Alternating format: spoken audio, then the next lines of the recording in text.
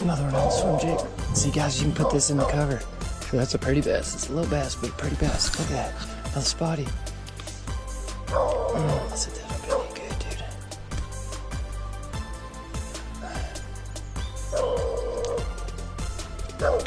See, put it clear back up in that cover. At that little spotty.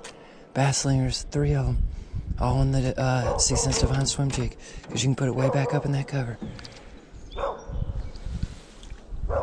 That was a pretty colored bass.